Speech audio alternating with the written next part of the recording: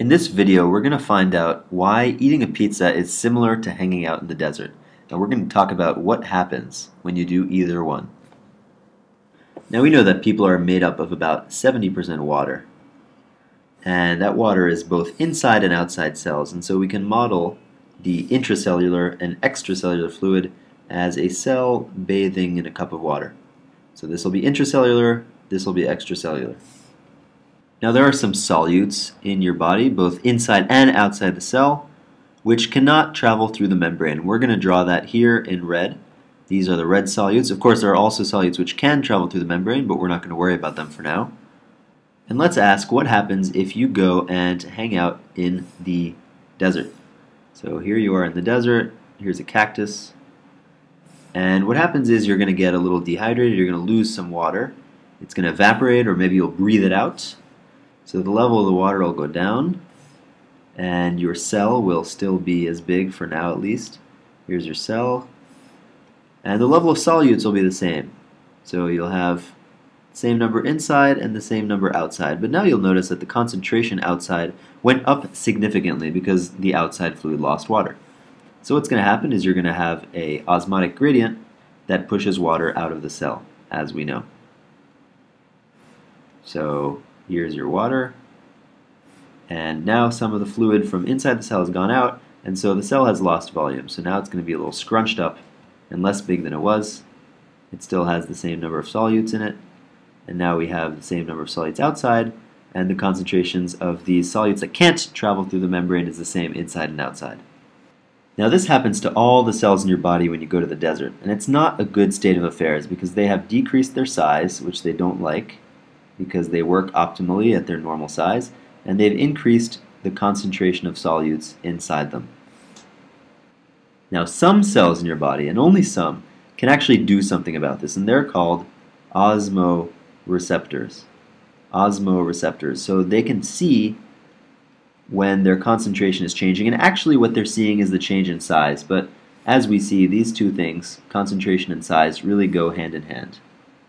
Now these osmoreceptors are located in a special part of your body and actually in the brain.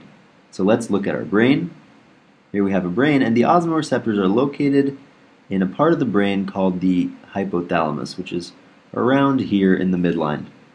So this is the hypothalamus and it's probably called the hypothalamus because it's like a small version of the thalamus. And so what are these cells going to be able to do about this change they've experienced? Well, they speak to the rest of the brain, and they send a strong message which says, please drink. So as a result of their message, you're going to try to go find some water and increase the amount of water in your body. But that's only the first thing that they do, so let's put a little number one. The other thing they do is they actually communicate with a little gland down here, in that little piece there, which is called the pituitary gland. Pituitary. And what they do actually is they send a signal through something like a neuron, which goes all the way down here to the pituitary gland and tells the pituitary gland to release a hormone called vasopressin.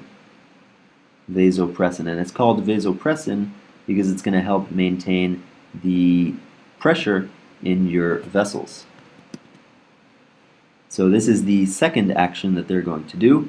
So where's the vasopressin going to go? Well, it's going to go into the blood vessels and down to the kidney. And it's going to tell the kidney, please conserve H2O.